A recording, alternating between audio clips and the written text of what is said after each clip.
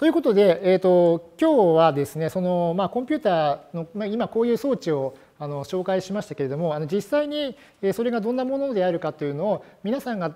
えー、と普段使っているのとほぼ、えー、と同じものを使ってあの紹介したいと思います。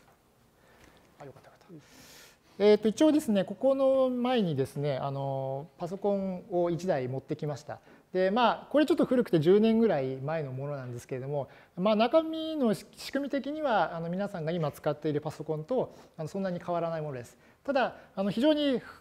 まあそれなりに古いですので割と部品があのかなり大作りになっておりまして、まあ、逆にこう説明するにはいいかなという気もします。というわけで、えー、ととりあえずあそうかあとあの、まあ、実物はこんな感じで教室の後ろの方から見づらいですからあのこうやってあのウェブカメラを用意してあの映せるようにしておきました。というわけでまずあのこのケースのを開けます。よいしょ。で、えー、とケースを開けますとですね、まあ、こういったあの形のなんか機械がありますけどこの皆さんパソコンの中身って見たことある人どのぐらいいますか？はいはいはい、ありがとうございます。1割ぐらいの人がいるみたいですね。で、えー、とパソコンの蓋を開けるとこんなふうな形のものが入っておりましてで一番大きいものがですねこのあのところにですね緑のあの基板があります。でまあ、これをシステムボードとよく呼んでいましてあのここにそのあの先ほどのコンピューターのいろいろな部品があの載っております。で,、えーと、でまずこの真ん中にですねなんかこういう機械があるんですが実はここのこれはファンですねあのファンあの空気を送るファンでしてこのファンの裏側に、えーと、先ほど述べたあの CPU が入っています。で、えーと、CPU の実物はですね、えー、とこういうものです。ちょっと今カメラに映しますね。あのこのぐらいのあの大きさでして、まあ、大体5センチ角かちょっと小さいぐらいですね。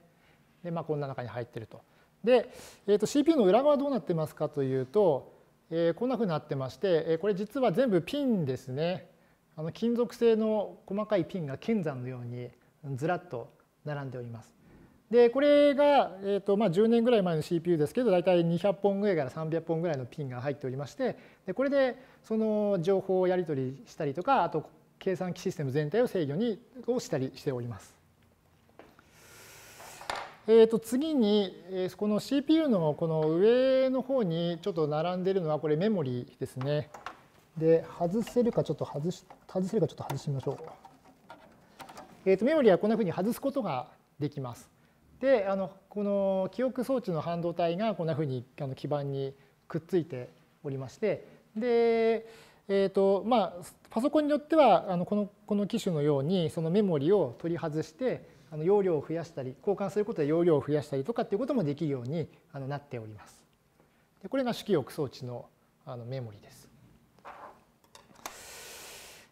えー、とそれからじゃあ次にその補助記憶装置に行きますけれども、えー、ここにですねそのあのハードディスクと呼ばれるあのものが入っております。でまああのこれはあのこのパソコンはその2台入れることができるようになっているんですが、えーとまあ、ここの中にですねこの、まあ、例えば皆さん使っている Windows ですとか、まあ、MacOS は Mac だけですけれどもそういうシステムですとかそれからあのアプリケーションソフトウェアが入っております。で、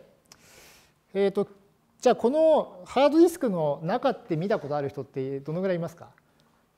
はいはいはい。まあ多分見たことある人は結構2だと思うんですが、えー、と本来は普段使っている時はこれ中開けられないものなのでこれはあのもうあの使えなくなって古くなったのであの持ってきました。でちょっと開けてみます。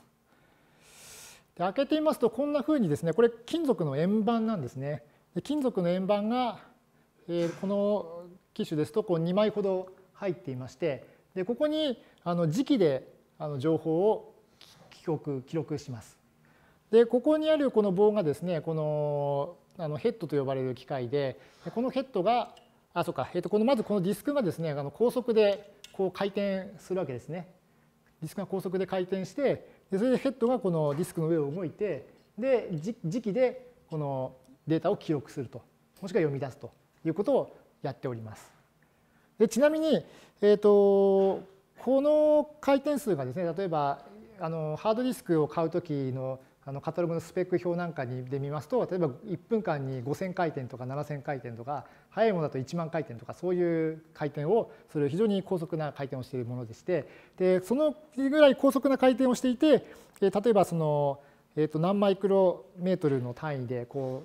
う制御しなければなりませんのでこのディスクは非常に頑丈にできています。で以前その最近はそのですねこういう計算機類のあの物品を処分するときにはあのハードディスクに入っている個人情報なんかが第三者に読み取られないように物理的に破壊するっていうこともよく行われますけれどもこのディスクを物理的に破壊するのは非常に大変です。僕も何回かやった経験ありますけれどももうガンガン金槌で叩いてもそんなにすぐには割れたりしないですね。なかなか大変でした。はい、これがハードディスクの中身です。それからですね、えーとノートパソコンなどにはあのこちらのハードディスクなんですけれども、えーと、先ほどのこのデスクトップ型パソコンよりも小さなハードディスクが入っています。大きさですとこうですね。えーと、デスクトップのパソコンはその先ほどのディスクの直径かな直径が3.5インチと呼ばれるものなので3.5インチと呼ばれてますけどもこちらはあのディスクの直径が2.5インチなので、まあ、2.5インチディスクというふうに呼ばれております。で厚さもあのこんこんな感じであの薄型になっています。で、えー、と最近のパソコンですとあのもうハードディスクすらないというものもありまして、え、こちらですねこれあの SSD と呼ばれるもので聞いた人もいるかもしれませんがあのソリッドステートディスクの略なんですけれどもと、まあ、先ほどの主記憶装置にどっちかと似ていて主記憶装置みたいなもんでしかも電源を切っても名前あの内容は消えないとそういった形で現在ではもうハードディスクの役割を変えるようにすらなってきています。で、えーと、で容量も非常にあの大きくてですねちなみに、えーと、今持ってきたこのあのノートパソコン用のハードディスクは容量があの 40GB なんですけれどもこちらの SSD は、えーと、容量が 256GB ありまして、えー、大体えー、とこのハードディスクの6個分ぐらいの情報がこの小さい SSD1 個に入るような形になっております。えー、で、えーと、ハードディスクまで説明したと。で、じゃあ、あの、えっ、ー、と、外部記憶装置ですね。次、外部記憶装置の、えーと、今度はそのいろいろまた持って歩くようなものなんですけれども、えーとまあ、皆さんは多分あの CD とか DVD というのも使ったことあるかと思いますが、まあ、これはあのパソコンに内蔵する形のあの DVD ドライブですね。でこのパこのマシンにもあの、えーと、この辺に、えー、あこの辺に DVD ドライブが入っております。それからあとはあのこちらこれはあのさっき数学機器の事務室でお借りしたものなんですがあのポータブル型の DVD ドライブなんていうのもありますね。であと、まあ、皆さんがご存知のあの外部記憶装置ですと、例えばあの SD カード、それから、まあ、USB メモリーなんていうのもあると思います。そこで、えー、とちょっとですねあの先ほどあの言った古い方の記憶装置なんですがえこれがあのフロッピーディスクと呼ばれるものです。で、まあ、こういった形の、まあ、薄いディスクなんで、まあ、プラスチックで中身もできているんですけれどもこれがですねあの容量がどのぐらいだったかというと、えっと、1メガバイトですね。えっと、皆さん1ギガバイトっていうのが今の単位だと思うんですけど1メガバイトです。ですのであの例えばこれ、この今このディスク、あこの USB メモリあの 8GB あるんですが、8GB っていう容量はこのフロッピーでいうと8000枚分ってことですね。8000枚のフロッピー並べてみたことはないんですが、多分段ボール N 箱ぐらいなんじゃないかと思うんですけれども、まあ、そのぐらいのあの周密度が上がっております。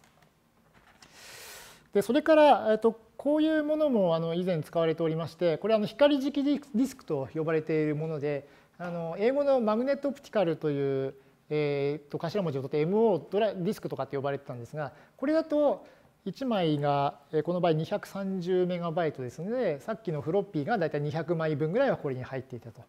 いうものですね。で大体15年ぐらい前まではあの今出しましたフロッピーとか MO っていうのが主流でしたで10年ぐらい前から多分急速に USB や SD カードに置き換わっていたかなというふうに思います。でちなみにフロッピーにはですねあのもうちょっと大きいサイズのものもありましてこれはあの30年ぐらい前ですかねえっ、ー、とあの NEC まあ今もパソコン作ってますけど NEC があの当時そのパソコンで全盛期だった頃のあのディスクなんですけれども、えー、とこれはあの5インチと呼ばれるあのディスクでこれも大体容量1メガバイトぐらいでした。えー、ということでですねあとはそうですねあの、まあ、携帯端末もあの多分皆さんほとんどの人はこれスマートフォン持ってると思いますけれどもえー、とこちなみにこのスマートフォンはですねあの Android Google が出したその Android を搭載した、えー、と携帯の最初の機種と同じものです。同じものというのは実はあのこれはあの一般に売られたものではなくてあの Android Dev4One といってあの開発者に売られたものです。で開発者にも売られたものなんですけれども中身はそのあの HTC という会社が世界で最初に出した Android 携帯のと同じものでして、えー、とまあこういった昔はこういった製品だったんですね。あとなんかこうパカッとキーボードが開くというちょっとあの変わった特徴も持っていますが、えー、これが大体10年前に出たものでで、まあ、それからのその携帯の進化は多分皆さんご存知の通りだと思います。えー、と一応大体ですねこれがあのえー、と今日あの、まあ、今回のそのコンピューターのシステムの紹介ですが何か質問ございますでしょうか？はい OK です